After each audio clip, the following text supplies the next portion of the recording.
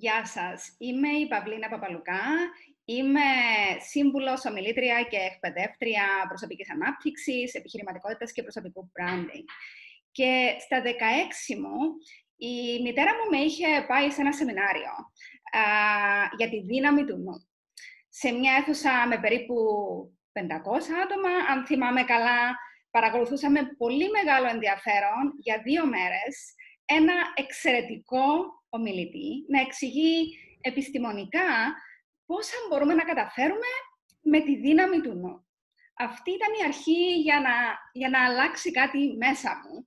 Και πιστεύω ότι ακόμη θυμάμαι την κάθε λέξη, γιατί είχα πάει και άλλες φορές μετά σε αυτό το σεμινάριο. Και αυτή η μέθοδος ήταν η αρχή και η βάση για αυτό που κάνω σήμερα. Ήταν η βάση, μου έδωσε τη βάση. και αυτό το οφείλω στον Παναγιώτη Μεταξάτο, ε, τον Έλληνα που γνώρισε τη μέθοδο Σίλβα πριν 40 χρόνια και το έκανε σκοπό της ζωής του να βοηθήσει όσο περισσότερο κόσμο γίνεται, ε, μαθαίνοντας τους τι πραγματικά μπορούσαν να καταφέρουν με τη δύναμη του νου.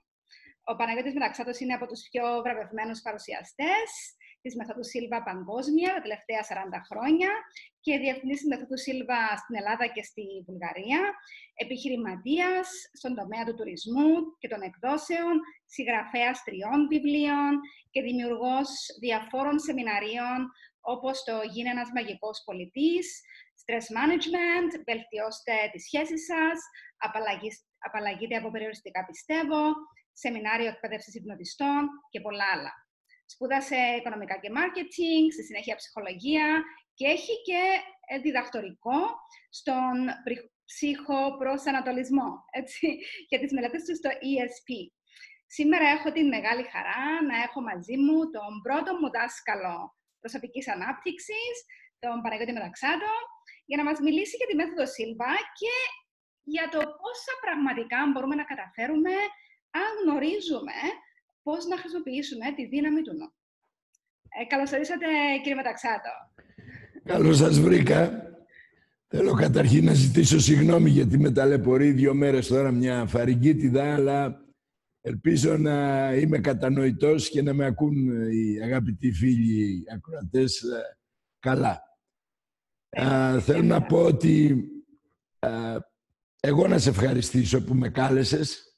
Δεν ήμουν εγώ η αιτία όπου πέτυχες αυτά που πέτυχες, απλούστατα χρησιμοποίησες αυτά που έμαθες και το πέτυχες. Αυτό είναι πολύ σημαντικό και ανήκουν σε σένα τα συγχαρητήρια και τα μπράβο. Α, βεβαίως παίζει ρόλο αν έχουμε ένα εργαλείο που είναι σημαντικό και μπορεί να κάνει τη δουλειά να μας πάει κάπου, να μας δημιουργήσει τις δυνατότητες. Αλλά πάνω απ' όλα είμαστε εμείς που το κατευθύνουμε που το ελέγχουμε και του δίνουμε την αξία της χρήσης Σίγουρα είναι, ναι, παίρνουμε την πληροφορία, αλλά αν δεν κάνουμε κάτι με την πληροφορία, ε, δεν θα γίνει τίποτα. Και εγώ για κάποια χρόνια το είχα αφήσει λίγο. Και μετά το θυμήθηκα και λέω, μα τα ξέρω όλα αυτά. Όταν άρχισαν κι άλλοι πολλοί να μιλούν γι' αυτό, λέω, αυτά τα ξέρω. Και τα είχα στο υποσυνειδητό επειδή τα έμαθα. Ε, οπότε πιο εύκολα μπόρεσα μετά να, τα, να αξιοποιήσω την πληροφορία αυτή. Ε, Στα 16 σου χρόνια ήσουν ένα ε, πραγματικά στυπόγαρτο. Έπαιρνες όλες τις πληροφορίες και τις κατέγραφες γιατί η εγκεφαλική δραστηριότητα ήταν ε, σε αυτήν την κατάσταση που καταγράφει τα πάντα και είναι πολύ σπουδαίο αυτό. Γι' αυτό τα παιδιά όχι μόνο μαθαίνουν εύκολα αλλά και χρησιμοποιούν αυτές τις πληροφορίες και τις γνώσεις σε όλη την υπόλοιπη ζωή τους. Επομένως, πρέπει να είμαστε πολύ προσεκτικοί στο τι μαθαίνουν τα παιδιά. Γι' αυτό και θεωρώ ότι είναι σημαντικό όλα τα παιδιά και έφηβοι να έρθουν στη Μέθοδο Σίλβα. Ε, ακόμα και πιο μικρή, αν, αν γνώριζε η μητέρα μου και με έφερνε σε αυτό το σεμινάριο, θα έμπαινε πληροφορία ακόμη πιο εύκολα στο υποσυνείδητο. Ε, οπότε είναι πολύ σημαντικό αυτό που κάνετε και κάνατε τόσα χρόνια και είχε και σεμινάρια, υπάρχουν και για τα παιδιά και μπορεί να πάνε και έφυγε στο σεμινάριο. Έτσι. Θέλω να, να μου μιλήσετε λίγο για την ιστορία. Εσείς πώς γνωρίσατε τη μέθοδο Σίλβα, τι κάνατε πριν από τη μέθοδο Σίλβα; Γνωρίζω ότι ήσασταν ήδη επιτυχημένος επιχειρηματίας. Ήμουν ε, αρκετά επιτυχημένος, είχα εκδοτικούς οίκους και πολλοί με ξέρουν και στην Κύπρο. Είχα συνεργάτες όπως τον Φίβο το Λοΐζου με την ε, κυκλοπαίδεια Δομή, τον Βαλιάνο αργότερα τα έργα του Κουστό, σαν Αλκιώνα, την Αλκιώνα, την εκδοτική είχα εγώ, την, τα Τσέπη στα Μπέλ, τα Άρλεκιν. Ακόμα είμαι πρόεδρος στην εταιρεία αυτή. Α, και άλλες εταιρείες, telemarketing, την Αλάρκο. Α, για να μην ειλικρινής, ε, ήταν μεγάλη ανάγκη μου να ε, είμαι επιτυχημένος στον επιχειρηματικό τομέα και ο λόγος ήταν γιατί ο πατέρας μου είχε ένα μπακάλικο στο χωριό και κάποια φορά πήγε στην πόλη, στα Αργοστόλη, να ψωνίσει, να φέρει πράγματα για το μπακάλικο και εγώ ήμουνα μικρούλης, πέντε χρονών, έξι, και άνοιγα τα πακέτα να βάλω στα ράφια τα διάφορα που έφερνε. Ε, εγώ έψαχνα βέβαια να βρω το γάλα βλάχας, το, το γλυκό τότε, το σαχαρούχο, γιατί ήταν το μόνο γλυκό που είχαμε σαν παιδιά και το αλήφαμε πάνω στις φέτες στο ψωμί που τις πυρώναμε προηγουμένως στη φωτιά και ήταν το γλυκό μας. δεν είδα λοιπόν καθόλου ζαχαρούχο γάλα και βρήκα ένα κοτί με κορδόνια. Ε, είχα την απορία λοιπόν, του λέω του πατέρα μου, πού το γάλα, έφερες γάλα; Δεν έφερα μου λέει. Λέω και έφερες κορδόνια, εδώ δεν έχουν παπούτσια οι άνθρωποι, κορδόνια χρειάζονται. Και μου λέει, τι ξέρεις εσύ, σήκω πήγαινε στη μάνα σου. Και θυμάμαι λοιπόν κατέβαινα μια σκάλα και του φώναζα, εγώ δεν ξέρω, εσύ δεν ξέρεις. Λοιπόν, για να το αποδείξω σε όλη μου τη ζωή ότι εγώ ήξερα και εκείνος δεν ήξερε σαν επιχειρηματίας, α, επιχειρηματίας τέλος πάντων που ήταν, έκανα όλες αυτές τις επιχειρήσεις. Κάποια στιγμή κατάλαβα ότι δεν υπήρχε λόγος. Δεν χρειαζόταν τίποτα από όλα αυτά, χρειαζόμουν απλώς την έγκρισή του. Εγώ λοιπόν ε, μέσα σε όλα τα άλλα τα επιχειρηματικά μου τότε είχα ένα πάθος με τον αθλητισμό. Ήμουν αθλητής στίβου και αργότερα και ποδοσφαιριστής. Έπαιζα μπάλα. Μια μέρα χτύπησα στο ποδόσφαιρο και δυστυχώς ε, μου πήγαν στο ΚΑΤ, μου κάνανε χείριση και όταν βγήκα από την άρκωση μου λέει ο καθηγητής λυπάμαι παιδί μου αλλά δεν πρόκειται να ξαναπαίξεις μπάλα η, η ζημιά που έγινε στο γόνατό σου ήταν πολύ μεγάλη και τότε δεν ήταν εύκολα να αποκαθιστούν τέτοιες, ε, βλά, ε, τέτοιες βλάβες. Θυμάμαι ότι εγώ απογοητεύτηκα γιατί ήμουν 28-29 χρονών. Θυμάμαι, ε, λέω, μα εγώ έκανα την εγχείρηση για να παίξω μπάλα, όχι για να μην, μην παίξω. Λέει, όλοι θα το θέλαμε, αλλά δεν γίνεται. Τότε λοιπόν Πέρασαν 8 μήνες και ήμουν με πατερίτσες. Πόναγα πάρα πολύ. Δεν μπορούσα να συνεφέρω το πόδι μου. Έκανα τρεις παρακεντήσεις και ήμουν στην κυριολεξία κουτσός. Το χειρότερο όμως δεν ήταν αυτό. Το χειρότερο ήταν η ψυχολογική μου κατάσταση ήταν αθλία. Εκείνη την περίοδο λοιπόν με παίρνει ένας φίλος μου μια μέρα τηλέφωνο και μου λέει παρακολούθησε ένα σεμινάριο που θα, θα σου αρέσει πάρα πολύ. Είναι εκπληκτικό. Mm-hmm. Του λέω γιατί είναι για πωλήσεις, γιατί εγώ έκανα σεμινάρια για πωλήσεις με τους πολιτάς μου που λέγαμε βιβλία. Όχι, μου λέει, δεν έχει να κάνει με πωλήσεις. Του λέμε τι έχει να κάνει. Μου λέει, δεν μπορώ να σου πω τώρα. Γιατί ο λόγος ήταν δεν, μπορώ, δεν ήξερε να μου πει κιόλας. Mm-hmm. Όταν θα γίνει θα σε ειδοποιήσω. Μια μέρα λοιπόν, μετά από 5-6 μήνες, με ξαναπαίρνει τηλέφωνο, μου λέει: Θυμάσαι που σου είπα για ένα σεμινάριο; Ναι, αλλά δεν μου πει τι είναι. Λέει ούτε τώρα θα σου πω να πας στο Αμερικανικό κολέγιο, τέσσερις, τρεις η ώρα αρχίζει και οι δύο πρώτες ώρες είναι δωρεάν. Αν σου αρέσει πάρε χρήματα μαζί σου γιατί θα πληρώσεις θα συνεχίσεις, αλλιώς θα φύγεις. Πήρα χρήματα μαζί μου, εγώ δεν πήγα τις, τις τρεις η ώρα, πήγα τις τέσσερις. Ήταν μια αίθουσα γεμάτη 300 άτομα και με τις πατερίτσες καταλαβαίνεις τι έγινε μέχρι να βρω μια καρέκλα να κάτσω τον άκουγα που μίλαγε και κάποια στιγμή λέει ο μιλητής, ο οποίος ήταν ο Κύπριος, ο Πόλο Γρίβας, mm. που του χρωστάω πολύ μεγάλη ευγνωμοσύνη για την γνωριμία που είχαμε, τη φιλία μας και όλα αυτά που, μας περιπτώσει, ακολούθησαν. Λέει ο Πόλ κάποια στιγμή, με αυτή τη μέθοδο μπορείτε να κάνετε ό,τι θέλετε, να γίνετε, να αποκτήσετε, να πετύχετε. Ε, μεγάλες κουβέντες, ξέρεις. Σηκώνω το χέρι μου. Λέει στο τέλος η ερωτήση. Όχι, του λέω τώρα η ερωτήση. Εγώ θέλω να παίξω μπάλα, μπορώ; Γέλια ο κόσμος, ξέρεις. Βλέπουν 300 άνθρωποι ένα μαντράχαλο να λέει να θέλει να παίξει μπάλα. Δεν ζήτησα σπίτι, αυτοκίνητο, κάτι άλλο. Με κοίταξε απορριμμένος ο άνθρωπος, λέει. Μπορείς, γιατί δεν μπορείς. Λέω, γιατί με κουτσός, σηκώσα την μπατερίτσα. Ε, λέει, τι κουτσόσα, εκγενετής. Λέω, όχι, χτύπησα στο ποδόσφαιρο και μετά από την εγχείρηση μου είπαν δεν μπορώ να ξαναπαίξω μπάλα. Ε, μου λέει, κοίταξε, με τη μέθοδο μπορεί να δεις, να φτιάξεις, να κάνεις το πόδι σου καλά και να ξαναπαίξεις μπάλα. Μου το είπε με τόσο πολύ φυσικό τρόπο. Απ' τη μια, απ' την άλλη ήταν έτσι αυθόρμητος. Ήθελα να του πω δεν πας στο διάλογο. Δηλαδή με, με, με, με θύμωσε. Δεν άκουγα τίποτα άλλο από εκεί και πέρα. Ειλικρινά δεν άκουγα τίποτα άλλο. Όλα όσα έλεγε παρά τον κοίταζε και έλεγα τον απαταιώνα. Πώς τους αφήνουν και λένε τέτοια πράγματα στον κόσμο εδώ. Οι επιστήμονες δεν ξέρουν. Ολόκληρος καθηγητής πανεπιστημίου μου είπε δεν γίνεται. Τι ξέρει αυτός. Και στο τέλος λέει μια χαρακτηριστική κουβέντα. Λέει αν δεν σας αρέσει αυτή η εκπαίδευση μπορείτε να πάρετε τα χρήματά σας πίσω. Σας δίνουμε εγγύηση. Mm. Τι εγγύηση; Τι παίρνω ψυγείο και το πάω πίσω; Τι θα πάρει πίσω από όλα αυτά που εγώ θα μάθω στις δύο μέρες μέσα στο σεμινάριο και που θα χρησιμοποιήσω; Λέω, το, το δίνετε γραπτό σε αυτό, βεβαίως μου λέει. Λέω, γράψε με τώρα. Γιατί στην κυριολεξία αισθάνθηκα ότι κάτι γίνεται. Και ξέρεις, η φύση, το σύμπαν, σου δίνει πολλές φορές πολλές ευκαιρίες, αλλά λέει και κάτι. Πρέπει να είσαι και σε θέση να την αρπάξεις την ευκαιρία. Γιατί δεν ξέρεις ποτέ ποια είναι η στιγμή πραγματικά που θα αλλάξει τη ζωή σου. Κανείς δεν το ξέρει.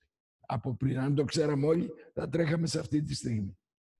Παρακολούθησα αυτό το σεμινάριο και πρέπει να σου ομολογήσω ότι επί τρεις μέρες δεν μπορούσα να μιλήσω. Ό,τι και αν έλεγα ήταν αρνητικό. Χρησιμοποιούσα πάρα πολλές αρνητικές φράσεις. Μη, δεν, δεν γίνεται, δεν μπορώ, τρομερό, φοβερό. Όλα αυτά που χρησιμοποιούν περισσότεροι άνθρωποι.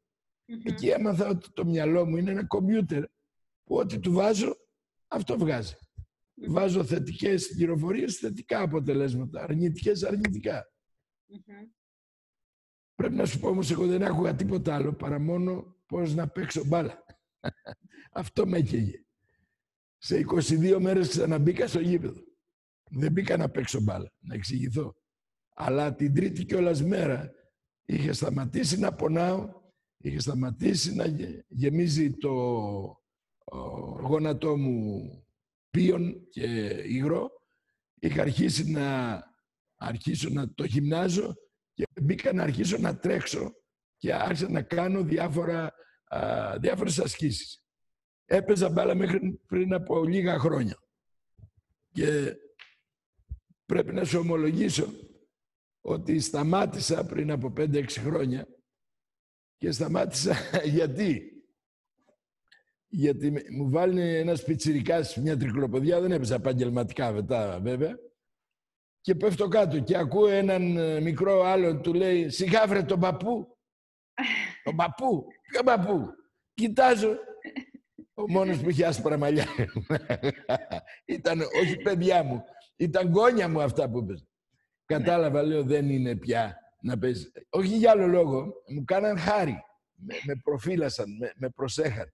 Ναι. και το ποδόσφαιρο δεν είναι ε, άθλημα για κυρίες. Είναι άθλημα που θα έχει δυναμισμό, έχει σύγκρουση, έχει, είναι ένα, ένας πόλεμος, μια μάχη.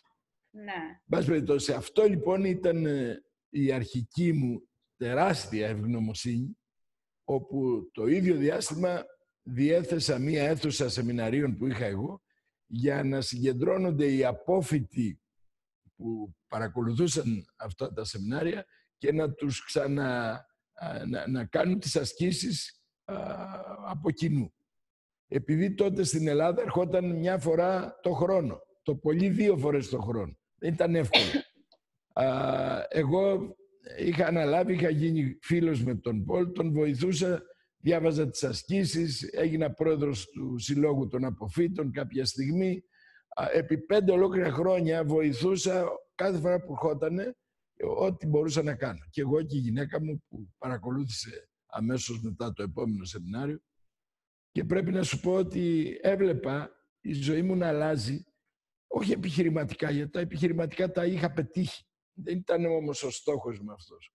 Αυτό που με ενδιαφέρε ήταν η ισορροπία στη ζωή μου. Ξέρεις, οι άνθρωποι κάνουν κάποιο λάθος. Σκέφτονται μόνο την επιτυχία. Αλλά έχουμε δει χιλιάδες επιτυχημένους ανθρώπους να φτάνουν σε ένα αποτέλεσμα και στο τέλος να καταστρέφουν τη ζωή τους με ναρκωτικά, να, μην να καταστρέφουν τη ζωή τους. Είναι γνωστά αυτά. Να, μέχρι και να αυτοκτονούν. Πώς είναι δυνατόν. Αφού τα κατάφερες όλα, έγινες διάσημος, έγινες Μάικλ Τζάξον, έγινες κόρη του Ωνάση, έγινε... γιατί αυτοκτονείς; Γιατί δεν βρίσκεις νόημα στη ζωή σου να συνεχίσεις να ζεις και να είσαι ουσιαστική και χρήση. Πάση περιπτώσει, το λέω αυτό για να δείξω ότι το επόμενο σημαντικό στη ζωή μας είναι η ισορροπία. Δηλαδή να δεις ότι αυτό που κάνεις πρέπει να γυρίζει πίσω σε σένα, να σου προσφέρει, να σου δίνει ενέργεια, να σου δίνει θετικά αποτελέσματα για σένα. Διαφορετικά, αν είσαι σε μια δουλειά που δεν ικανοποιείσαι από την ίδια τη δουλειά, σε λίγο θα αρρωστήσεις. Θα αντιδράσεις το σώμα σου. Δεν θα το αντέξει αυτό. Πρέπει λοιπόν να βρεις τρόπους να αγαπήσεις αυτό που κάνεις. Αυτή είναι η πρότασή μου. Και αν δεν μπορέσεις, άλλαξε το. Γιατί άλλαξε το; Γιατί κάπου αλλού είναι καλύτερα τα ταλέντα σου, είναι καλύτερες οι δυνατότητες σου και δεν μπορείς να στερείς από το σύμπαν δυνατότητες που σου έχει δώσει η ανώτερη ευφυΐα που θα βοηθούσε την εξέλιξη καλύτερα. Δεν έχεις το δικαίωμα να το κάνεις αυτό.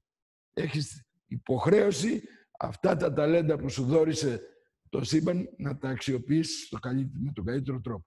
Και το τρίτο που θέλω να προσθέσω εδώ είναι η αρμονία.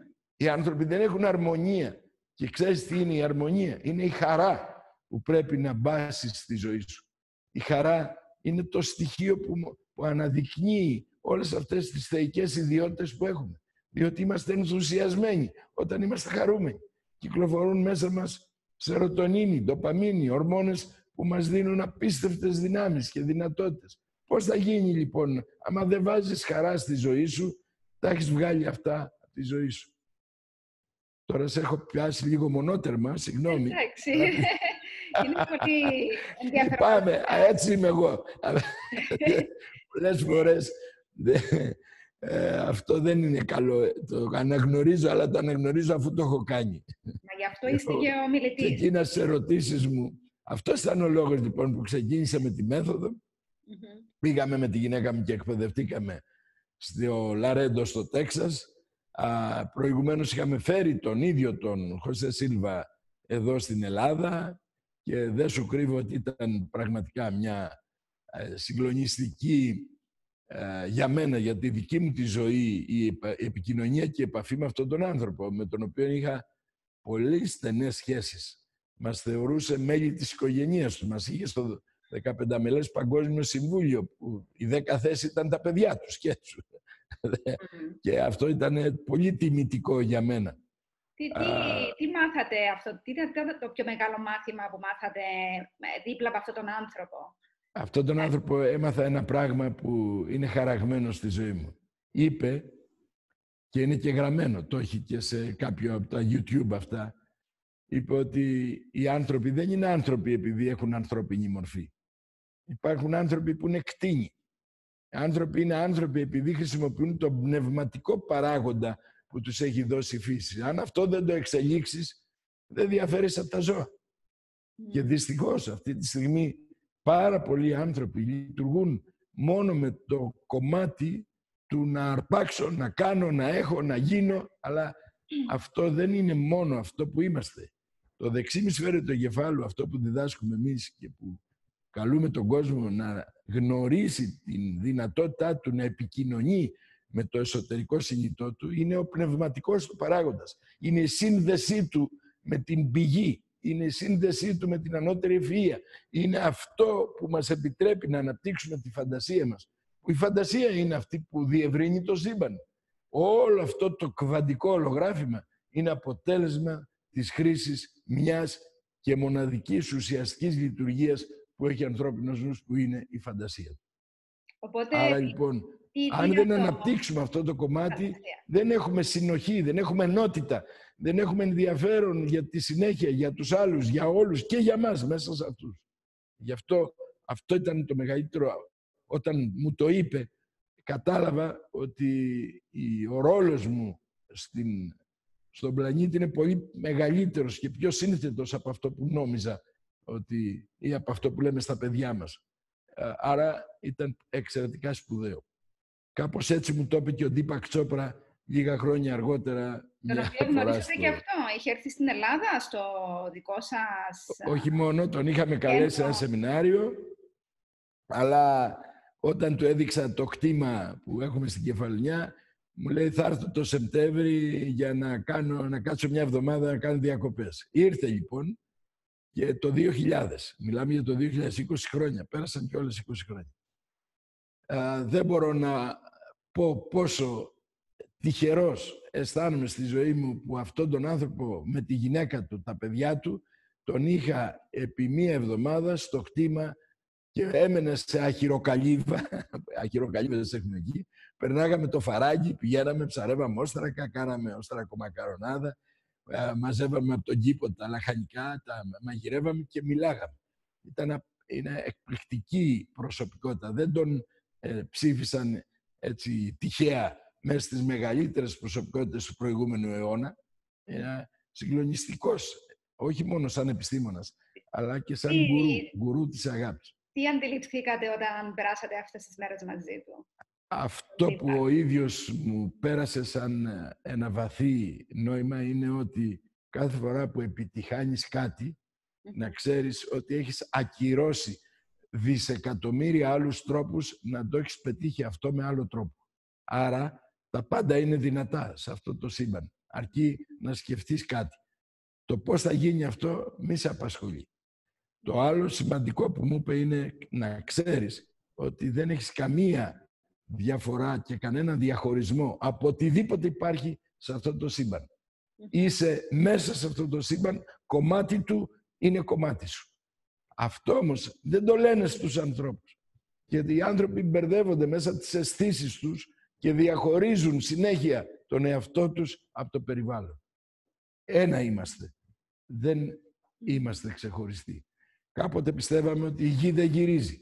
Ήρθε ο Γαλιλαίος και είπαμε μετά από πολλά και διάφορα, πάλι καλά που δεν τον κάψαμε, είπαμε εντάξει γυρίζει. Μετά διαμορφώσαμε ένα άλλο υπόδειγμα στην ανθρωπότητα και είπαμε ο πλανήτης είναι ένας, ένας τόπος που επάνω του υπάρχουν ζωντανοί οργανισμοί. Και ο άνθρωπος, επειδή είχε πολύ υψηλό επίπεδο νοημοσύνης, κυριαρχεί επάνω στον πλανήτη. Δυστυχώς και οι θρησκείες αυτό λένε. Αλλά δεν είναι αλήθεια αυτό. Η αλήθεια ήρθε πολύ αργότερα. Την λέει ο Χάξλεϊ, τη λένε πολλοί άλλοι ε, μια δική μας επιστήμον, θα θυμηθώ το όνομά της, και άλλοι πολλοί, οι οποίοι λένε ότι ο πλανήτης είναι ζωντανός οργανισμός και εμείς είμαστε μέρη των συστημάτων του. Και ο καθένας από εμάς είναι σαν κεφαλικός νευρώνας και ανάλογα και σε ποιο ημισφαίριο είναι, έχει κουλτούρα ανάλογη αριστερού ή δεξιού ημισφαιρίου. Και θα μπορούσαμε να μιλάμε ώρες για το πώς έχει σφιγμό ο πλανήτης, που είναι η μέρα και η νύχτα του, πότε αναπνέει ο πλανήτης όταν πέφτουν τα φύλλα από τα δέντρα και όταν η άνοιξη βγαίνουν καινούργια φύλλα, πώς υπάρχουν στους ωκεανούς που είναι η καρδιά του και το νερό είναι το αίμα του και πώς γίνεται αυτή η κυκλοφορία του αίματος μέσα από την εξάτμιση, τη βροχή και όλα αυτά. Αντί να λέμε αυτά που πραγματικά μπορούμε να τα αποδείξουμε στο Πανεπιστήμιο του Πρίστων έχουν πλέον αποδείξει ότι η ανθρώπινη σκέψη επηρεάζει το κβαντικό ολογράφημα. Ότι αν οι άνθρωποι μαζεμένοι κάπου κάνουν μια σκέψη ναι. συγκεκριμένη, αυτό καταγράφεται ενεργειακά. Τώρα η επιστήμη λοιπόν τα, τα αποδεικνύει αυτά πλέον. Ε, ε μπράβο. Αυτό που θα σας ρωτήσω είναι, εσείς κάνατε αυτό το έργο πριν 30-40 χρόνια ξεκινήσατε. που αυτά ναι. ήταν σαν α, επιστημονικής φαντασίας. Ε, ε, εντελώς. Πιστέψτε αλλά, αλλά τα σεμινάρια ήταν τεράστια. Θυμάμαι, είχε μεγάλο ενδιαφέρον. Οπότε ήταν και δύσκολο το έργο σας. Ε, και γνωρίσατε και μερικούς από τους, αυτούς τους μεγάλους και τότε ήταν λίγοι και καλοί δασκάλοι. Ήταν λίγοι δασκάλοι οι οποίοι έκαναν πράξη αυτά που διδασκάν. Ε, τώρα είναι τώρα δεν έχουμε ανάγκη από δασκάλους, πίστεψε με. Ναι. Γιατί, γιατί όλοι έχουν αυτές τις πληροφορίες. Αυτά που λέω δεν είναι δικά μου. Είναι ένα, α, ένα καταστάλαγμα από, από όλους αυτούς. Και αυτό γίνεται συνέχεια. Παίρνουμε ναι. κάτι παλιό, το αναδιαμορφώνουμε, το συνθέτουμε, το συνδυάζουμε, το συσχετίζουμε και παράγουμε κάτι καινούριο που μπορεί να έχει ένα δικό μας χρώμα αλλά, ή ένα άρωμα, κάτι, αλλά προσθέτουμε κι εμείς κάτι. Όλοι και οι Έλληνες, οι Έλληνες φιλόσοφοι είχαν πει παρόμοια πράγματα, με διαφορετικό ε, τρόπο. Ε, εννοείται ότι τα είχαν πει γι' αυτό και εγώ θα έλεγα αν θα μπορούσα να κάνω μια πρόταση στους φίλους που πρόκειται να δουν αυτή την εκπομπή μας, θα τους έλεγα διαβάστε για την αρχαία Ελλάδα. Ναι. Τα έχουν πει όλα. Ναι. Αυτοί οι ναι. αφιλότιμοι. Ναι, όλα, πραγματικά. όλα στην κυριολεξία. Και ναι. αν δείτε μόνο η ελληνική γλώσσα, ο κώδικας αυτός, ο συμπαντικός κώδικας, είναι αρκετό και μόνο να αλλάξει τη συνειδητότητα του ατόμου. Γιατί ο κώδικας αυτός δεν του μετέφερε μόνο, ήταν εντολή προς δράση, ήταν τρόπο ζωής, ήταν σχέδιο από μόνο του. και εμείς σήμερα να... κοντεύουμε να τα εξωστρακίσουμε και από τα σχολεία. Ναι, αν είναι δυνατόν. Να Έχουμε κόψει το νι, το τελικό που ήταν εξαιρετικά σημαντικό. Και δηλαδή τώρα σήμερα έχουμε τόσες πληροφορίες. Έχουμε το ίντερνετ. Έχουμε και, και έχουμε χάσει ε, όλο αυτό το οποίο και σαν Έλληνες, τώρα μιλάμε και στα ελληνικά, είμαστε σαν Έλληνες, έχουμε την πληροφορία αυτή. Πώς έχουμε και μέσα μας. Γίνει; Είναι το γενετικά μέσα, μέσα μας. Το, στον DNA το έχουμε, ναι, και αυτό το έχω δει σε σεμινάρια κι εγώ. Γιατί το νιώθω, το έχουμε στο DNA μας. Πώς το έχουμε αφήσει, πώς έχει φύγει αυτό όλο, έχουμε χάσει αυτή τη πληροφορία, αφού την έχουμε τώρα... Ναι. να, να ξέρετε κάτι, ε, η, τα έθνη στον κόσμο δεν είναι πολλά. Κράτη υπάρχουν πολλά. Τα έθνη είναι λίγα. Και τι σημαίνει αυτό; Ότι είχαμε πάντα αντι, αντιπάλους οι οποίοι για κάποιο λόγο λειτουργούσαν από την πλευρά της ε, μοναδικής επιτυχίας που θεωρούσαν ότι αυτό είναι το σπουδαίο και το σημαντικό. Οι αρχαίοι Έλληνες δεν σκεφτόντουσαν έτσι. Ο Μέγας Αλέξανδρος έκανε τεράστια εκστρατεία για να ενώσει τους λαούς όχι να τους διαχωρίσει, για να τους βγάλει από, την, από τους τυράννους με τους, τους οποίους ζούσαν. Δεν υπήρχε περίπτωση να τον ακολουθούσαν τόσα εκατοντάδες χιλιάδες κόσμος εάν ήταν και αυτός ένας τύρανος. Άρα λοιπόν έχουμε περάσει μηνύματα προς την ανθρωπότητα τέτοια που κάποια στιγμή θα χρειαστεί να τα ξαναδούμε και να δούμε για ποιους λόγους και με ποιο τρόπο αυτή τη στιγμή εμείς οι ίδιοι δεν σεβόμαστε την κληρονομιά μας και όλα αυτά για τα οποία, από τα οποία έχουμε μεγαλώσει και τα οποία θα έπρεπε και στον χώρο που ζούμε. Αλλά έχουμε φύγει λίγο από το θέμα. Να μιλήσουμε για τη μέθοδο Σίλβα. Ναι, ναι. Η και αυτό είναι το αντικείμενο. Σας είπα, εγώ ναι. θα σας παρασύρω, αλλά μην με... ε, η με επαναφέρετε. Σίλβα, ναι, πώς γιατί εγώ θεωρώ ότι όλοι πρέπει να την παρακολουθήσουν. Είναι σαν βάση, γιατί μπορείς να πάρεις τόσα πολλά για να ανεπτυχθείς ε, σε όλα αυτά που, για τα οποία έχουμε μιλήσει. Ε, τι μπορεί να πάρει κάποιος, τι είναι η μέθοδος Σίλβα, στην Εγώ να κάνω μια διόρθωση. Το όλοι πρέπει να την παρακολουθήσουμε είναι υποχρεωτικός όρος. Θα ήταν καλύτερα. Να, θα ήταν καλύτερα. θα ήταν καλύτερα. Δεν σας διορθώνω, αλλά να δείτε πόσο παίζουν μεγάλο ρόλο οι λέξεις που χρησιμοποιούν. Θα ήταν καλύτερα λοιπόν. Ο λόγος είναι γιατί. Απλά είναι ένα εκπαιδευτικό πρόγραμμα η μέθοδος. Ναι. Που μέσα από ένα σεμινάριο δίνει τη δυνατότητα στο άτομο να κάνει περισσότερη χρήση από τις ικανότητες που έχει ο εγκέφαλος και ο νους του. Περισσότεροι έχουν μπερδέψει τι είναι εγκέφαλος και τι είναι ο νους. Και δεν, δεν τα διαχωρίζουν. Είναι το μυαλό μου και εννοούν το νου τους ή τον εγκέφαλό τους. Αλλά αν θέλουμε να, να ξεκαθαρίσουμε τα πράγματα θα δούμε ότι έχουμε ένα hardware, όπως λένε οι ηλεκτρονικοί, το computer που είναι ο εγκέφαλος και έχουμε ένα software που είναι το πρόγραμμα που είναι ο νους και που ενεργοποιεί τον εγκέφαλο να λειτουργήσει. Τώρα ο εγκέφαλος, για τον εγκέφαλο αν θα μιλάγαμε θέλουμε 10 εκπομπές για να πούμε το 1% από αυτόν. Τι είναι.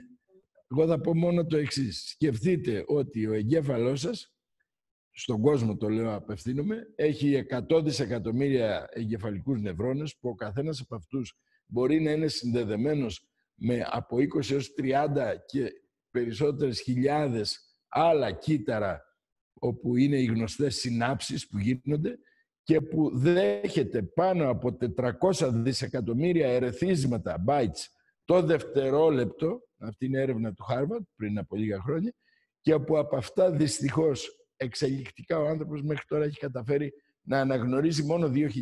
Φαντάσου λοιπόν τι τεράστια δυνατότητα έχουμε όταν αρχίζουμε και αναγνωρίζουμε μεγαλύτερο μέρος πληροφοριών, τις οποίες τις συνδέουμε, τις χρησιμοποιούμε και διευρύνουμε την συνειδητότητά μας. Αυτός είναι ο εγκέφαλος. Ο εγκέφαλος μπορεί να κάνει τα πάντα.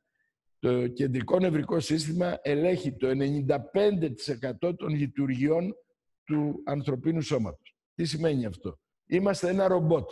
Όσο δεν το λέμε στους ανθρώπους ότι σαν σώμα είσαι ένα ρομπότ που λειτουργείς αντανακλαστικά. Δεν σκέπτεσαι να αναπνεύσεις. Δεν σκέπτεσαι να χτυπάει η καρδιά σου. Δεν σκέπτεσαι να χωνέψεις. Δεν σκέπτεσαι τούτο, δεν σκέπτεσαι το άλλο. Όλες τις περισσότερες λειτουργίες σου γίνονται χωρίς εσύ να πεις πρέπει να αναπνεύσω τώρα. Αλλήμον, αν χρειαζόταν να το κάνουμε, θα σκάγαμε. Cancel, cancel. Άρα λοιπόν είναι το 95% δεν το ελέγχεις. Πάμε στο υπόλοιπο 5. 2% από αυτό έχει να κάνει με το DNA σου. Από πού κρατάει σκούφια σου; Ποιοι είναι οι προγονείς σου; Και αυτό δεν το ελέγχεις. Εκτός και αν δεχτούμε ότι πριν γεννηθούμε, επιλέγουμε σε ποια οικογένεια θα πάμε να γεννηθούμε. Αλλά άστο, αυτό είναι πολύ προχωρημένο. Λοιπόν, λέμε 95 και 2,97. Ένα 2% είναι η παιδική σου ηλικία. Και εσύ τα έχεις σπουδάσει αυτά και τα ξέρεις πολύ καλά. Μέχρι τα 6-7 μας χρόνια και ίσως και περισσότερο. Συμβαίνουν πάρα πολλά πράγματα όπου δεν τα ελέγχεις. Ο πατέρας, ο πατέρας μου έλεγε είμαστε φτωχοί αλλά είμαστε τίμοι. Ναι. Δεν μπορούσα να το... Το τι είναι το τίμιος δεν το ήξερα τότε. Οπότε ήξερα το φτωχός. προγραμματίζει ότι άμα είσαι φτωχός, είσαι και καλός άνθρωπος. Ναι, αλλά ε, είχα μια απορία την οποία του την εξέφρασα στα 16. Δηλαδή δεν μπορώ να είμαι πλούσιος τίμιος. Ναι. Μου λέει, μην με ρωτάς εμένα αυτά τα πράγματα. Να με ρωτάς άλλα. Θεός χωρέστον. Εντάξει. Μας έμαθαν αυτά που, που μπορούσαν να μας μάθουν. Θέλω αλλά να σου πω, μπράβο. Αυτό ήξερα, αυτό μου είπε. Αλλά αυτό δεν σημαίνει ότι είχε δίκιο. Έκανε λάθος. Εγώ το κατάλαβα πολύ αργότερα, όταν άρχισα να έχω πολλά χρήματα στη ζωή μου. Ναι. Και δεν, ήμουν, δεν τα είχα επειδή ατίμασα ή έκανα κάτι παράνομο. Έκανα εκδόσεις, πουλάγαμε βιβλία, ό,τι καλύτερο και θεωρούσα ότι αυτό ήταν και βοηθούσε και τον κόσμο και χιλιάδες πολιτές που είχα. Άρα κατάλαβα ότι εδώ πρέπει να αλλάξω αυτό. Ξέρεις γιατί πρέπει να τα αλλάξω μέσα μου, σαν πιστεύω.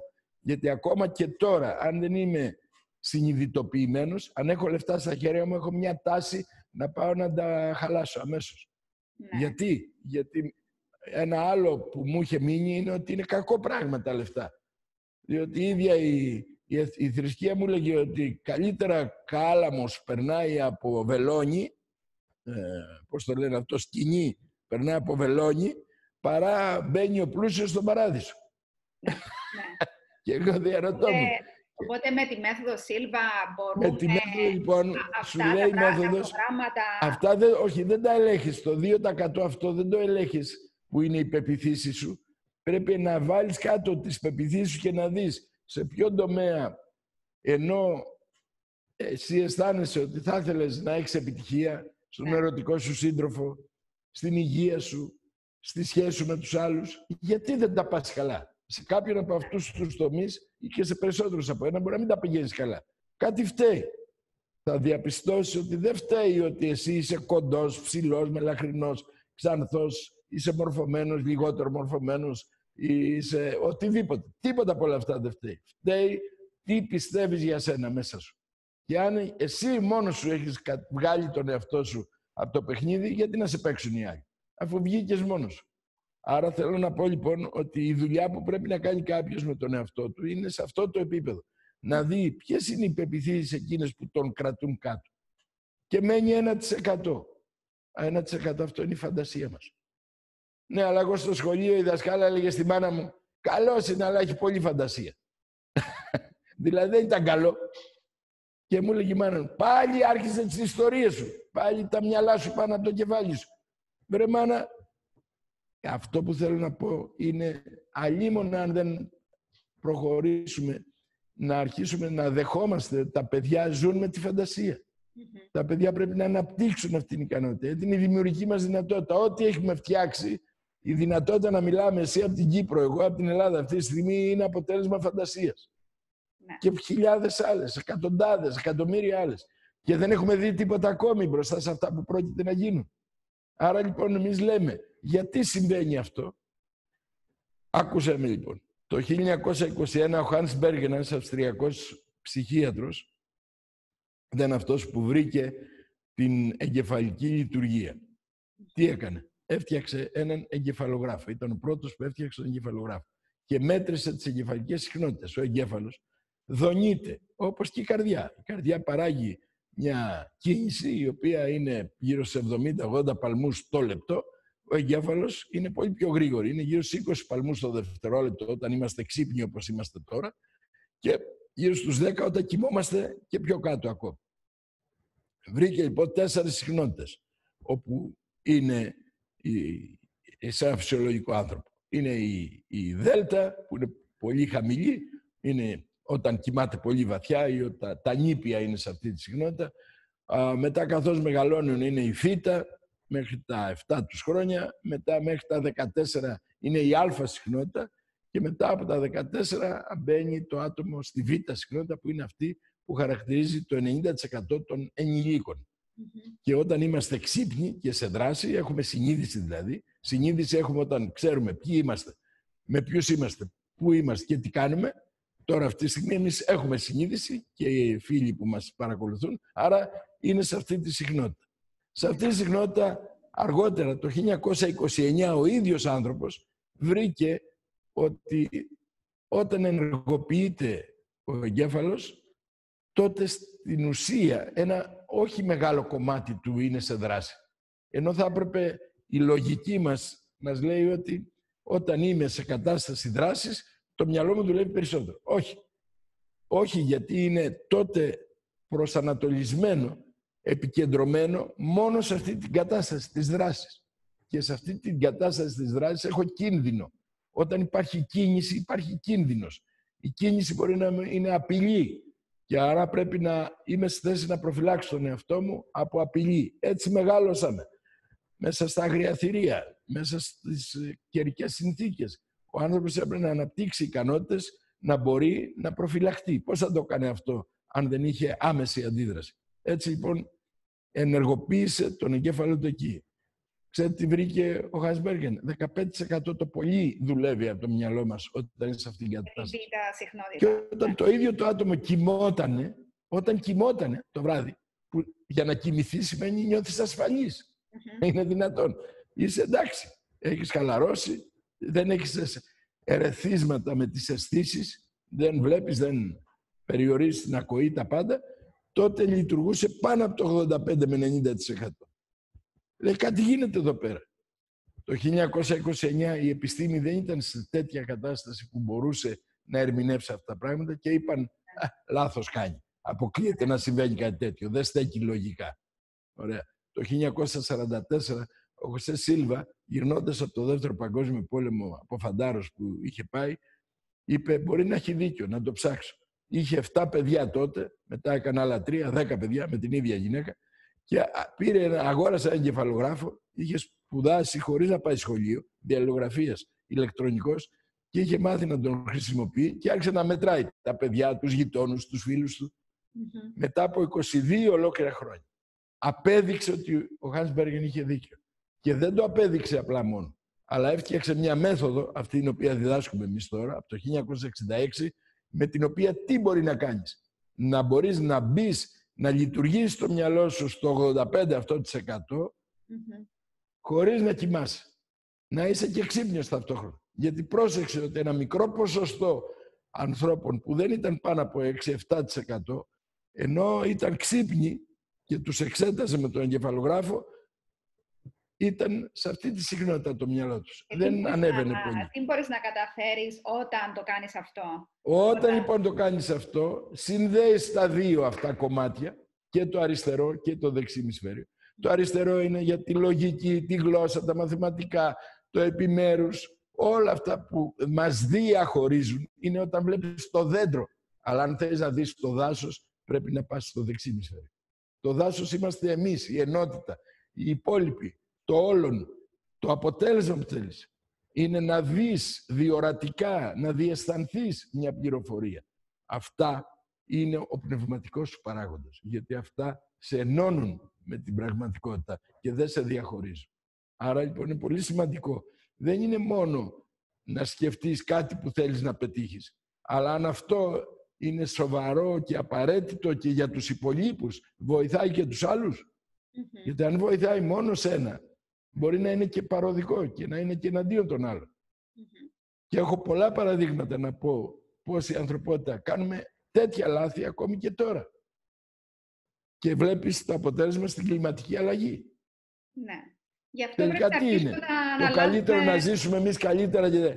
πιθανόν και λίγο τα παιδιά μας και τα κόντια μας να, να πεθάνουν. Ναι. Και να μην υπάρχει ζωή σε αυτόν τον πλανήτη. Γι' αυτό είπα και πριν, θεωρώ ότι είναι καλύτερα όλοι να, να μάθουν αυτές τις πληροφορίες που διδάσκεται. Είσαι πολύ καλή μαθήτρια, ε, το έμαθες αμέσως. Αυτή είναι η μέθοδος λοιπόν. Τους μαθαίνει ένα νέο τρόπο αντίληψης, σκέψης, πώς να κάνουν χρήση ολιστική των ικανοτήτων τους και καταρχήν το πρώτο πράγμα που μαθαίνει κάποιος είναι να απαλλαγεί από το στρες. Ε, γιατί μιλάμε για το στρες; Το στρες έχει γίνει το φόβητρο του σύγχρονου ανθρώπου. Και προκαλεί Έτσι, και όλες τις, α, Το 90% των προβλημάτων υγείας ε, οφείλεται στο στρες. Γιατί, γιατί φαντάσου, ναι, φαντάσου ένα αυτοκίνητο που το, ε, είναι αναμένη μηχανή, πατάς το γκάζι και πατάς και το φρένο όταν είσαι σε στρες, έχεις βάλει το... όλους τους μηχανισμούς, 14 διαφορετικά όργανα και συστήματα υπερλειτουργούν και μέσα αυτό είναι υποσυνείδητο, δεν το καταλαβαίνεις κιόλας ότι Μπράβο, δεν το... όχι μόνο, το χειρότερο δεν είναι αυτό. Είναι το χειρότερο είναι ότι αν εκτίθεσαι σε, σε, σε διαρκές στρες, δηλαδή σε ένα στρες που είναι συνέχεια, μια αγωνία, μια ανησυχία, γιατί δεν έχεις μόνο ερεθίσματα εξωτερικά, έχεις και εσωτερικά ερεθίσματα. Ένα ερέθισμα εσωτερικό είναι θα μου πάρουν το σπίτι. Ένα ερέθισμα εσωτερικό είναι θα με παρατήσει η γυναίκα μου, ξέρω εγώ, τα παιδιά μου ή θα αρρωστήσω. αυτά όλα τα υποσυνείδητα. Αυτό ήθελα να ρωτήσω. Δηλαδή, όταν κάποιος έχει αυτά τα επαναλαμβανόμενα ε, υποσυνείδητα ε, είναι φοβίες, σκέψεις και συναισθήματα. σκέψεις, είναι συναισθήματα και δεν το καταλαβαίνεις κιόλας. Πώς μπορεί να Βεβαίως το δεν το καταλαβαίνει. κάποιος αυτό; Ε, Για, θα το καταλάβει μόνο ναι. αν βιώσει την διαδικασία της χαλάρωσης. Γιατί το ε, αντίδοτο στο στρες δεν είναι τα φάρμακα. Mm-hmm. Δυστυχώς, το ξέρουν και οι γιατροί, αλλά τι να κάνουν. Οπότε είναι... πρέπει να μπεις σε αυτή την νοητική κατάσταση που είσαι αντιδρός, Εκεί να νιώσεις καλύτερα. το μεγαλύτερο φάρμακο είναι αυτός του, δεν είναι άλλος. Ναι. Αφού λέμε, βγήκα μια βόλτα έξω στο δάσος και άλλαξα, πήρα καθαρό αέρα και το μυαλό μου άνοιξε και είχα μια ιδέα. Πώς είχε την ιδέα, γιατί αφού οξυγονώθηκε ο εγκέφαλος... Γι' αυτό λέω και στον κόσμο συνεχώς... Η κοινωνία λειτουργήσε. Ναι, έτσι. Ότι αυτό λοιπόν που λέμε σε πρώτο επίπεδο είναι ότι πολλά προβλήματα υγείας, όπως είναι το στρες, όπως είναι η διάσπαση, όπως είναι ε, να ξεκινούν από μικρά προβληματάκια σε επίπεδο πίεσης. Μιλάγαμε παλιά πίεση, παίρνουν χάπια οι άνθρωποι για πίεση. Πού τα ξέραν αυτά τα πράγματα. Τώρα δεν υπάρχει πάνω από τα 35-40, έχει ένα, δύο, τρία χάπια που πρέπει να πάρει κάθε πρωί. Ναι. Και αν βάλεις και τα συμπληρώματα διατροφής, γίνονται μια δεκαπενταριά. Και μετά αρχίζει η ζωή του και έχει μια εξάρτηση χημική. Και σήμερα δεν το καταλαβαίνουμε από την πρώτη στιγμή τι συνέπειες μπορεί να έχει κάτι που κάνουμε τώρα μετά από 10-15 χρόνια. Σήμερα σας πληροφορώ ότι συνδέουν το Alzheimer, την άνοια και πάρα πολλές από τις αρρώστιες που ε, σχετίζονται με το νου και τον εγκέφαλο, με τα αγχολητικά.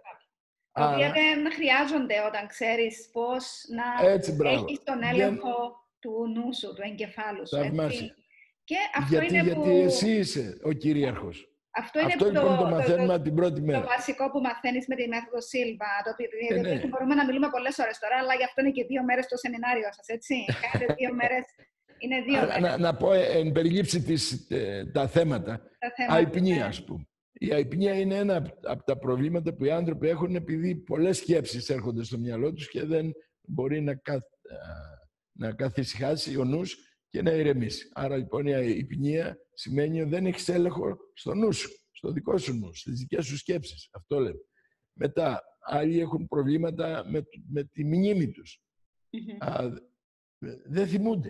Ναι. Και λένε δεν έχω καλή μνήμη. Και είναι λάθος αυτό. Μνήμη έχουμε καταπληκτική. Απλώς δεν έχουμε ανάκληση πληροφορίας Οπότε μερικές μπορούμε να βελτιώσουμε και τη μνήμη μας με τη μέθοδο Βεβαίως, εμείς τους Σίλβα. μαθαίνουμε. Εγώ με- μπορώ να θυμηθώ 100 διαφορετικές λέξεις που μπορεί να μου πούν 100 διαφορετικοί άνθρωποι και να, να πω όχι μόνο ποια λέξη είναι σε κάθε αριθμό, αλλά και ποιος την είπε. Στο Χάρβατ λοιπόν λένε ότι δεν έχουν παρατηρήσει ένα τέτοιο φαινόμενο παρά μο- σε, στο, στο φυσιολογικό άνθρωπο πο- το πολύ να μπορεί να θυμηθεί 7-8 λέξεις. Μμμ. Δεν είναι αλήθεια. Αυτό έλεγε κάποια έρευνα κάποια στιγμή. Με εκπαίδευση έχουμε απίστευτα αποτελέσματα. Εμείς διδάσκουμε ένα, εγώ διδάσκω ένα, το γρήγορο διάβασμα και δυναμική μάθηση. Σε πληροφορώ ότι μπορεί να διαβάζει κάποιος 1500 λέξεις το λεπτό μετά από λίγη εκπαίδευση. Το λιγότερο χίλιες λέξεις το λεπτό, για να μην λέω πράγματα που μπορεί να φανούν υπερβολικά. Ενώ ο περισσότερος κόσμος δεν διαβάζει πάνω από 150 λέξεις το λεπτό. Στις 150 το πολύ συγκρατεί ένα 15%, στις χίλιες λέξεις συγκρατεί 90%. Γιατί ο εγκέφαλος βαριέται, κουράζεται όταν τον πηγαίνεις με αργό ρυθμό. Ο εγκέφαλος θέλει ταχύτητα, γιατί δουλεύει σαν ένα γρήγορο κομπιούτερ. Μέχρι να δώσει την εντολή σου και δώσει την απάντηση. Άρα, πώς εσύ τον πας με κάρβουνα. Πάνε οι εποχές εκείνες. Και έχει μεγάλη σημασία να δει, αν αυτό το κάναμε στην εκπαίδευση, στα παιδιά, στα σχολεία, πόσο θα ήταν τα παιδιά περισσότερο μορφωμένα, εξελιγμένα και καλύτερη χρήση των πληροφοριών θα είχαν. Οπότε Και όμως δεν το μαθαίνουμε- βάζουμε ούτε αυτό στα σχολεία. Έχουμε τους Φιλανδούς που μας είπανε «Μα είδαμε τι κάνανε οι αρχαίοι Έλληνες» και είπαμε «Όχι η εργασία στο σπίτι». Και έχουν, είναι πρώτοι στην εκπαίδευση. Τέλος πάντων. Ναι. Να Ωραία. μην δείχνει ότι είμαι και θυμωμένος. δεν είμαι. Απλούστατα θέλω να πιστεύω ότι είμαστε πολύ κοντά στο να μπουν αυτές οι καινοτομίες Πληροφορίες. πια και να μπουν στη ζωή Τουλάχιστον μας. να, να αρχίσουν οι γονείς να τις μαθαίνουν Οι στα γονείς, παιδιά. ακριβώς. Ε, όπως, Όπως η μάνα σου πρέπει να της δώσεις πολλά ευχαριστώ που σε έφερε Σίγουρα και μικρούλα τη τότε. δίνω συνεχώς. Και τώρα θέλω να φέρω και να φέρουμε και τα παιδιά της οικογένειας στην κόρη της αδερφής μου. Ας πούμε, όταν έχετε και τα παιδιά σεμινάριο, ε, τα, Βεβαίως, μαθαίνουμε, βεβαίως. τα μαθαίνει τα παιδιά φυσικά πολύ καλύτερα από ότι. Γιατί όταν ήμουν εγώ πέντε χρονών και 7 δεν τα γνώριζε αυτά η μητέρα μου. Οπότε ξέρει ότι μου έβαλε πολλές πληροφορίες ε, που δεν έπρεπε να μου είχε βάλει. Ε, το νιώθηκε λίγο άσχημα γι' αυτό. κα- Μου το λέει κατά Δεν καιρούς. πρέπει να μην νιώθει άσχημα γιατί ε, έτσι ήμασταν όλοι. Όλοι περάσαμε. Αλλά έχει και την ευθύνη και το παιδί μόνο του τι να κάνει. Δεν μπορεί να είμαστε μια ζωή αυτή που θα το προστατεύσουμε. Ναι. Πρέπει και το παιδί να, όπως το χελιδονάκι, το σπρώχνει έξω από τη φωλιά η μάνα του να πετάξει, να μάθει για να αντέξει το ταξίδι του γυρισμού και να μην μείνει στο κρύο του χειμώνα, έτσι και το παιδί πρέπει να βγει μέσα από την αγκαλιά της οικογένειας κάποια στιγμή και να λειτουργήσει ανεξάρτητα με τη δική του οικογένεια. Δεν μπορούμε Αυτό να είναι. λέμε συνεχώς επειδή οι γονείς μου έκαναν αυτό και επειδή αυτό. όχι, όχι. Οι άνθρωποι Μπορούμε όλα πρέπει να τα- να δώσουμε μπορούμε πλήρη δηλαδή αποδοχή όλοι- στους γονείς μας. Το λέω ειλικρινά αυτό. Ε, μια μεγάλη πράξη είναι η συγνώμη, η συγχώρηση. Ξέρεις, χωρίς συγχώρηση δεν μπορούμε να προχωρήσουμε στη ζωή μας. Η συγχώρηση είναι πράξη αγάπης. Όταν συγχωρείς κάποιον, δεν το κάνεις γιατί τον αγαπάς. Αγαπάς τον εαυτό σου και τον συγχωρείς. Γιατί αν δεν τον συγχωρήσεις, δεν μπορείς να αγαπήσεις κανέναν, ούτε και σένα. Άρα λοιπόν, για να έχεις αγάπη για τους άλλους, πρέπει πρώτα να έχεις για τον εαυτό σου. Γι' αυτό του επιτρέπεις και τον συγχωρείς επειδή αγαπάς τον εαυτό σου και δεν αφήνεις να ενοχλείται ο εαυτός από αυτό που είπε, έκανε ή οτιδήποτε έγινε. Το καταλαβαίνεις πόσο σπουδαίο είναι αυτό; Mm-hmm. Η χριστιανική αυτή το έχει σαν μυστήριο στην, την, ε, την συγχώρηση, στην εξομολόγηση. Γι' αυτό υποτίθεται γίνεται ναι. εκεί. Αλλά το θέμα είναι να το κάνεις εσύ. Να καταλαβαίνεις ότι αυτό που έγινε λειτουργήσε, τελείωσε και προχωράς στη ζωή σου. Mm-hmm. Εγώ θα ήθελα να πω ακόμη ότι εκτός από αυτά που ήδη είπα, είναι από την πρώτη μέρα όλα αυτά, μαθαίνουμε στον κόσμο πώς να πετύχει ένα στόχο. Ξέρουμε πια σήμερα ποιες είναι οι προδιαγραφές, οι ενεργειακές προδιαγραφές, να έχεις μια ιδέα, μια σκέψη και να την προβάλλεις για να την υλοποιήσει το κουβαντικό ολογράφημα. Να ρωτήσω κάτι. Πιστεύεις ότι μπορεί κάποιος να, να πετύχει οποιοδήποτε στόχο βάλει ή υπάρχει περιορισμοί στον κάθε άνθρωπο; Απλά έτσι μια σύντομη ερώτηση προς το τέλος.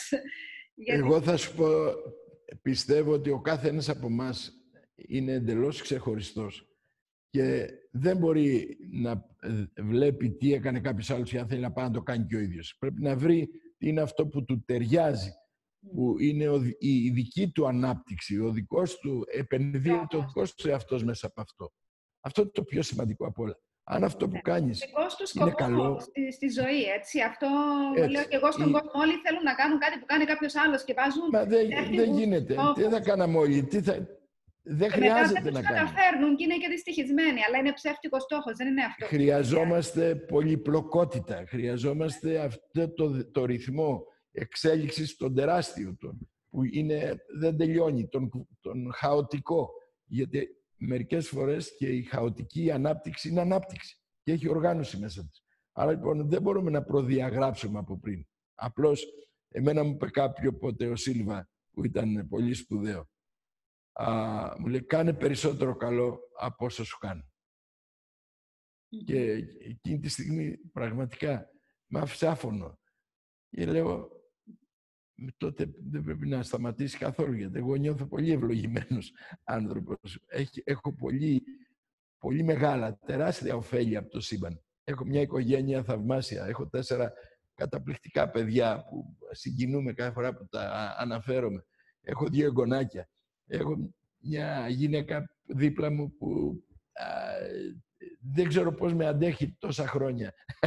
γιατί μην βλέπεις μόνο αυτή μου τη γλυκιά όψη. Είμαι και εκρηκτικός τύπος. Φωνάζω, νευριάζω, είμαι όλα αυτά. Είμαι ένας ζωντανός άνθρωπος, δεν μπορώ να σκεφτώ. Δεν παίρνω σύνταξη, γιατί αν πάρω σύνταξη φοβάμαι ότι υποσυνείδητα ήδη βγαίνω σε περιθώριο. Δεν θέλω. Λοιπόν, κάποιοι έχουν ανάγκη περισσότερο. Έτσι λοιπόν έχω τεράστια ωφέλη από αυτό το σύμπαν, ευλογίες που δεν τις έχουν άλλοι άνθρωποι. Δεν έχω όχι δικαίωμα να παραπονούμε. Πρέπει από το πρωί μέχρι το βράδυ να λέω σε ευχαριστώ, σε ευχαριστώ, σε ευχαριστώ. Ωραία. Δεν λέω σε ευχαριστώ. Προτιμώ να μου λένε εμένα ότι με ευχαριστούν χιλιάδες οι μαθητές που φελούνται μέσα από αυτή τη μέθοδο που δεν είναι για μένα. Το ευχαριστώ τους είναι προς την ανώτερη ευφυΐα. Και αυτό το δέχομαι. Αυτό είναι όλο. Οπότε και εγώ ευχαριστώ και χάρηκα τόσο πολύ που ε, ξαναήρθαμε σε επαφή μετά από τόσα χρόνια, γιατί χαθήκαμε και λίγο. Ε, Θα σας πω τι έγινε. Ναι. Πριν από 6-7 χρόνια, ίσως και περισσότερα, μας, μας παίρνουν μια μέρα από, την, από το Λαρέντο, από την έδρα της Μεθόδου Σίλβα και να ξέρεις στην Κύπρο υπάρχει κάποιος Κύπριος και ενδιαφέρθηκε να παρουσιάζει τα μαθήματα, είχε εκπαιδευτεί στην Αγγλία και είπε ότι θα μετακινηθεί, θα μένει μόνιμα πια στην Κύπρο και εμείς σαν αρχή μας έχουμε, αν σε μια χώρα υπάρχει κάτοικος της χώρας που είναι πιστοποιημένος παρουσιαστής, να μπορεί να αναλαμβάνει τα σεμινάρια κτλ. Και λέω με μεγάλη μου χαρά, δεν έχω κανένα πρόβλημα. Το ίδιο έκανα στην Τουρκία, εγώ άνοιξα την Τουρκία, το ίδιο κάναμε στην Αίγυπτο, το ίδιο κάναμε στη Βουλγαρία γιατί όχι και στην Κύπρο που είναι αδερφή χώρα. Κάποια στιγμή όμως σταμάτησε να λειτουργεί. Δεν ξέρω γιατί ο άνθρωπος μπορεί να είχε πολλές δουλειές, πήγαινε ορχόταν από το Λονδίνο κτλ. Και, και μας παίρνουν οι ίδιοι τηλέφωνο και μας λένε θέλετε να πάτε στην Κύπρο; Λέμε με μεγάλη μας χαρά. Στην Κύπρο έχουμε χιλιάδες φίλους που έχουμε εξαιρετική σχέση. Εγώ περιμένω τώρα που θα είμαι στο σεμινάριο, ήδη έχει κλείσει το σεμινάριο. Δεν υπάρχουν θέσεις, πρέπει να το ομολογήσω κι αυτό. Ναι. Αλλά ήδη ορίσαμε δύο σεμινάρια για τον Ιανουάριο για να βοηθήσουμε αυτούς οι οποίοι δεν θα προλάβουν τώρα. Θα βάλουμε έρθουν την στο επόμενο. σελίδα σας από κάτω ε, ή αν μπορείτε να μας πείτε πού μπορεί ο κόσμος να μάθει για τα σεμινάρια σας και μπορείτε να μας βλέπουν και από Ελλάδα τώρα, δηλαδή πού, Βεβαίως. πού μπορούν να ενημερώνονται. Είναι... Εμείς έχουμε ένα, ένα blog στο site μας που έχουμε όλες τις πληροφορίες, τα πάντα. Εκεί υπάρχουν και στο YouTube. Υπάρχουν, έχουμε κανάλι που μπορούν να δουν πολλές από τις παρουσιάσεις μας. Θα το βάλουμε και εμείς αν μας επιτρέπεις αυτή τη Φυσικά. συνέντευξη. Γιατί και καλό είναι να σε γνωρίζει και εσένα οι άνθρωποι που έχουμε πολλούς αποφύτους και στην Κύπρο και στην Ελλάδα. Νομίζω πως κάνεις εξαιρετική δουλειά στο δικό σου το χώρο. Ευχαριστώ πολύ. Και το, δεν χρειάζεται να σε παρακολουθήσω για να το ξέρω αυτό. Το διαισθάνομαι. Και το λόγος είναι ακόμη ότι δεν ακυρώνεις αυτούς που σου μάθαν κάτι. Αντίθετα, τους τιμάς. Και αυτό είναι προς τιμή σου. Δεν το κάνουν Σίγουρα, οι πάντα... περισσότεροι. Ναι, Γιατί το- έχουν χαμηλή αυτοεικόνα. το κλείνει αυτό. το θέμα. Δηλαδή, εγώ πάντα ανάφερα για τη μέθοδο Σίλβα ε, σ- στα Εγώ σεμινάρια μου. συγκινήθηκα όταν είδα που έδειχνε στο βιβλίο. Το... Έκανα Και το και το έδειξες βίντεο πρώτο-πρώτο. που θα το Ναι. κάνω link εδώ για να το δουν ένα, ε, τα Μπράβο. βιβλία που άλλαξαν στη ζωή μου και μετά σας είδα στο facebook και τη διαφήμιση για το σεμινάριο και λέω «Ω, πρέπει, να, πρέπει να το προωθήσω αυτό, πρέπει πολλοί κόσμος να μάθει ε, για αυτή τη μέθοδο. Ακριβώς. Ήταν, ήταν Λοιπόν, ε, υπάσχημο. Ε, Η στο σελίδα μας είναι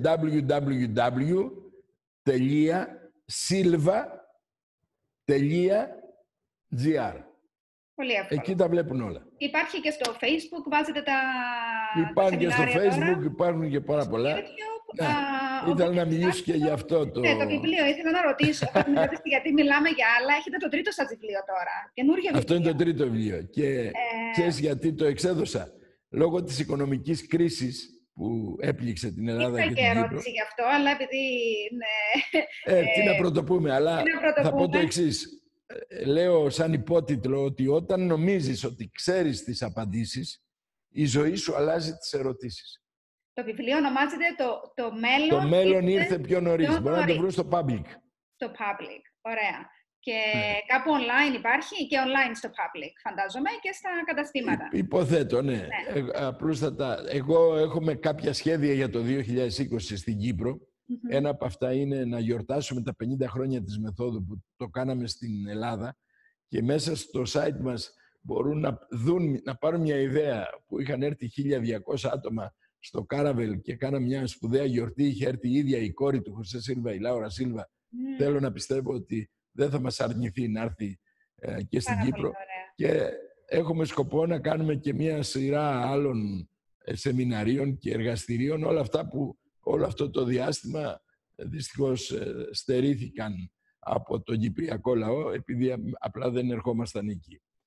Και θα χαρώ να σας δω και να τα Φυσικά, πούμε και να πιούμε και- και μια, ε, πώς τη λέτε αυτή την ε, τζιβανία. τη- Φανία, μα- μαζί να πούμε, δεν την πολύ πίνω, αλλά Όχι, θα το δεν πίνω κανονίσουμε εγώ, αλλά και- απλώς έτσι, για το Και καλό. σίγουρα ε, όσο, όσα πράγματα και αν γνωρίζεις, ξέρετε κι εσείς ότι και εγώ θέλω να επαναλαμβάνω τις πληροφορίες. Όσο, όσο περισσότερο τις επαναλαμβάνεις, κάθε φορά που τις μαθαίνεις, α, όταν σας Έτσι. ξανακούσω, θα μάθω κι άλλα, περισσότερα. Ακόμα και Να αν σας τα πω εγώ γιατί. διδάσκεις. Ναι. Δεν θα μάθετε απλά περισσότερα επειδή θα πω εγώ περισσότερα. Εγώ δεν λέω περισσότερα, αλλά εσείς κάθε φορά ακούτε Ο διαφορετικά πράγματα. εγκέφαλος Γιατί ακούει άλλα Έτσι, πράγματα. δεν είστε ο ίδιος άνθρωπος. Ε, Η εξέλιξή σου βλέπει εκεί που α- απέρριψες κάτι την πρώτη φορά, τη δεύτερη λες, όπα, κάτι λέει αυτό. Και έτσι πάντα βγαίνεις σαν να, σαν να- από μια ανανεωμένη εκπαίδευση. Αυτό είναι αλήθεια. Το μου το έχει συμβεί και βιβλίο, σε μένα σε όλα τα σεμινάρια που εγώ έχω παρακολουθήσει. Έτσι είναι. Θα Ε, χαρώ να σας δω. και σι- σίγουρα και θα βα- βρεθούμε. Ε, το βιβλίο αυτό που μου γράψετε για την κρίση, τι είναι το κυρίως μήνυμα αυτού του βιβλίου; Το κυρίως μήνυμα του είναι ότι α, στην Κρήτη έχουν μια, έχουν μια πολύ σπουδαία παροιμία, α, μαντινάδα, ξέρεις. Μμμ. Λένε τα βάσανά του ο Θεός στους δυνατούς τα δίνει. Γιατί στους αδύνατους δεν έχει εμπιστοσύνη. Η κριτική με το δικό τους τρόπο, λοιπόν. Ωραίο αυτό. το λέω γιατί. Γιατί συνέχεια πέφτει αυτό. Λοιπόν, Πέρασε. δεν πειράζει. Μας Απλά. Πού πήγε τώρα; Δεν πειράζει. Ναι. Είναι, ο ήχος είναι εντάξει, οπότε... Είναι από τα απρόβλεπτα της ναι. Ε, ζωντανής σύνδεσης. λοιπόν, ακούστε κάτι. Α, εμείς πιστεύουμε ότι ο άνθρωπος πρέπει να έχει ερεθίσματα. Αν δεν έχει ερεθίσματα, δεν έχει αντιδράσεις. Άρα λοιπόν αυτή τη στιγμή είναι, υπάρχει μια καμπή στον κόσμο. Η συνειδητότητα του κόσμου αυξάνεται και πλησιάζουμε σε αυτό το περίφημο 1% που αλλάζει το 99% που δεν έχει καμιά προσέγγιση, δεν έχει καμιά κατεύθυνση. Αν το 1% λειτουργήσει με θετική κατεύθυνση, είναι γνωστό, έχουν γίνει έρευνες πάνω σε αυτό. Εμείς συμμετείχαμε στον Μπράχμα Κουμάρη, σε ένα Ινδικό πανεπιστήμιο πριν από χρόνια και πραγματικά το πίστευαν και το απεδείχθη γιατί το κάναμε πράξη με το πόλεμο των άστρων όταν γινόταν η συμφωνία των αφοπλισμών ε, και κάναμε διαλογισμό να δώσουν τα χέρια Ρέιγκαν με τον Γκόρμπατσοφ και να σταματήσει ο κίνδυνος ενός πυρηνικού ολοκαυτώματος. Λοιπόν, και άλλα πολλά. Πιστεύω λοιπόν ότι είναι αυτή τη στιγμή κατάλληλη εποχή και αν δεν είναι σε λίγους μήνες, μπορεί σε ένα χρόνο, δεν έχει σημασία, όπου ο άνθρωπος θα αρχίσει να αναζητά το καλό σαν τη μόνιμη λύση στις δυσκολίες που έχει. Θα αρχίσει να απομονώνει τα αρνητικά στοιχεία. Δεν μπορεί να κρατήσει πια τόσο μίσος, τόση κακία, τόση πείνα. Αυτή τη στιγμή ο μισός πληθυσμός του πλανήτη είναι σε κατάσταση ανάγκης, τεράστιας ανάγκης. Και εμείς κάνουμε πως δεν ακούμε. Άρα λοιπόν πρέπει κάτι να γίνει. Και δεν είναι, η αλλαγή δεν είναι να τους δώσουμε να φάνε. Γιατί οι Κινέζοι έχουν μια παροιμία και λέει μην του δώσεις ένα ψάρι. Μάθε το να ψαρεύει. Το να τους δώσουμε να φάνε και μάλιστα λιγμένα και όλα αυτά δεν τους βοηθάμε. Θα τους βοηθήσουμε μόνο εάν τους μάθουμε να πάρουν τη ζωή τους στα χέρια τους. Και εμείς την πήραμε στα χέρια μας. Και εμείς δεν είχαμε να φάμε. Και άρα τα καταφέραμε. Θα τα καταφέρουν και αυτοί. Δεν τους λείπει τίποτα. Λοιπόν, εκπαίδευση θέλουν οι άνθρωποι. Και αγάπη. Αυτό είναι το καινούριο στοιχείο. Αυτό, ναι, αυτό που μου έκανε συγκλονιστική εντύπωση. Διάβασα πριν από δεν θυμάμαι πόσο καιρό όπου απεκάλυψε νομίζω η εγγονή του Αϊνστάιν, κάτι η κόρη του, δεν θυμάμαι ποια ήταν, μια επιστολή που της είχε αφήσει και της είπε ο πατέρας της, θα την ανοίξεις 20 χρόνια μετά το θάνατό και θα τη διαβάζετε στον κόσμο.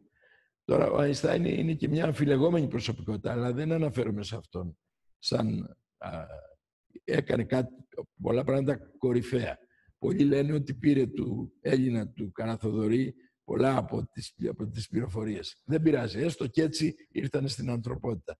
Αυτό λοιπόν που είπε μέσα στο γράμμα του αυτό, σαν παρακαταθήκη, ήταν ότι υπάρχει μία ενέργεια πάνω στον πλανήτη που είναι πολύ πιο ισχυρή από όλες τις ατομικές και άλλες ενέργειες που οι άνθρωποι έχουν μέχρι τώρα εφεύρει και έχουν χρησιμοποιήσει. Και αυτή η ενέργεια η οποία αλλάζει τα πάντα είναι η αγάπη. Ας αρχίσουμε να μάθουμε τι είναι η αγάπη. Μην νομίζουν ότι το ξέρουν, γιατί μερικοί τις βάζουν copyright. Δεν είναι copyright η αγάπη. Δεν την έχει ένα κόμμα, δεν την έχει ένα θρησκευτικό δόγμα, δεν την έχει μία ομάδα. Είναι, είναι ένα στοιχείο συμπαντικό που όπου του δίδεται σημαίνει ότι αρχίζει και εξελίσσεται ολιστικά. Και αυτό είναι το δικό μου μήνυμα. Να δούμε τον εαυτό μας μεγαλύτερο. Πολύ ωραία. Οπότε είναι, είναι πολύ ωραίο μήνυμα για να κλείσουμε αυτή τη συνέντευξη. Το μήνυμα της αγάπης, το να... ότι ναι, η αγάπη υπάρχει εκεί και μπορεί να θεραπεύσει τα πάντα και η γνώση. Έτσι. Οπότε αν κλείναμε έτσι με ένα μήνυμα, ένα δυνατό μήνυμα που θέλετε να μας δώσετε, πώς μπορούμε να τα βάλουμε έτσι, σε μια πρόταση; Εγώ θα έλεγα ε, αν δούμε οι αρχαίοι Έλληνες μίλαγαν για τον ενθουσιασμό. ο ε, ενθουσιασμός ήταν εντός και Θεός. Λοιπόν, ο ενθουσιασμένος ήταν αυτός που είχε το Θεό μέσα του. εγώ λοιπόν θα έλεγα στους ανθρώπους βρείτε κάτι πραγματικά που σας ενθουσιάζει. Βρείτε κάτι που όταν μιλάτε γι' αυτό, όταν ασχολείστε με αυτό, έχετε απεριόριστες δυνατότητες, δυνάμεις, δεν κουράζεστε. Ε, έχετε ιδέες, έχετε επαφές, γίνονται τα, όλα τα προβλήματα. Βρείτε κάτι τέτοιο και συνδέστε τη ζωή σας. Μην τη συνδέετε με κακομοιριά, με μιζέρια. Μην, μην, μην, μην μπήθεστε από αυτό που σας δείχνουν οι τηλεοράσεις και αυτοί οι οποίοι σας εξουσιάζουν γιατί σας εκμεταλλεύονται. Θα μου πεις είναι επαναστατικό. Ε, τι να κάνω. Δεν είναι η πρώτη φορά που με στείλουν στον τοίχο. δεν με νοιάζει. Και κάποιοι θα ρωτήσουν πώς μπορώ να το βρω αυτό και θα τους πω χαλαρώστε. Και αν δεν ξέρετε να χαλαρώσετε, πηγαίνετε στη μέθοδο Σίλβα να έρθουν. και θα μάθετε... Εγώ ε, δεν ξέρω αν θα, θα δείξει η εκπομπή, θα, θα το δείξεις αυτό πιο πριν, μέχρι την Παρασκευή. Την Παρασκευή θα είμαι στο ΡΙΚ στην εκπομπή της κυρίας Βασιλάκη της Γογός, στο ευζιν Θα με παρακολουθήσουν εκεί αρκετά. Και επίσης το βράδυ της Παρασκευής θα είμαι στο Starbucks της οδού Διγενή Γρίβα, στο εμπορικό κέντρο, για να έρθουν φίλοι οι οποίοι με παίρνουν πάρα πολύ τηλέφωνο και μου λένε να πιούμε ένα καφέ, να τα πούμε εκτός σεμιναρίου και λέω θα είμαι εκεί, ελάτε, σας κερνάω εγώ τον καφέ και να τα πούμε. Θα χαρώ πολύ να σε δω και εσένα. Ωραία, ωραία. Θα το προσπαθήσω να είμαι εκεί την Παρασκευή. Ωραία. Ε, νομίζω έχω κάτι προγραμματισμένο, αλλά θα, το, θα, θα δω. Αν δεν είναι... Θα δεις. Έχω ήδη... Εγώ πιστεύω ότι θα είναι μια πολύ όμορφη βραδιά. βραδιά. Επίσης, ε, το σεμινάριο αρχίζει τώρα το Σαββατοκύριακο. 10 το πρωί αρχίζουμε μέχρι το 8.30 το βράδυ και τις δύο μέρες. Και επειδή έχουν κλείσει οι θέσεις, το ξανατονίζω για να μην φανταστεί κανείς ότι κάνουμε promotion, έχουμε ήδη ορίσει, είναι πάρα πολλά τα τηλέφωνα, δύο ημερομηνίες για τον μήνα Ιανουάριο. Οπότε ας ετοιμαστούν, ας μπουν στο site μας, ας δουν πότε έχουμε αυτές τις ε, να κλείσουν τη, τη για να προετοιμάσουμε όλοι μαζί τη μεγάλη γιορτή που θα κάνουμε το 2020 για τα 50 χρόνια της μεθόδου και μαζί και με τη Λάουρα Σίλβα, αν μας το επιτρέψει να είναι κοντά μας. Ωραία. Και είναι, είναι γιορτή για, το, για τη δύναμη που έχουμε όλοι μας για να καταφέρουμε αυτά που θέλουμε στη ζωή. Είναι δική μας και να ζήσουμε το πεπρωμένο. Να ζήσουμε, όχι το πεπρωμένο, sorry, λάθος λέξη, να ζήσουμε αυτό για το οποίο έχουμε γεννηθεί, που είναι η αγάπη και να ζήσουμε το σκοπό της ζωής μας ε, όλοι και αυτό που έχουμε γεννηθεί να κάνουμε και να το κάνουμε με τον καλύτερο τρόπο.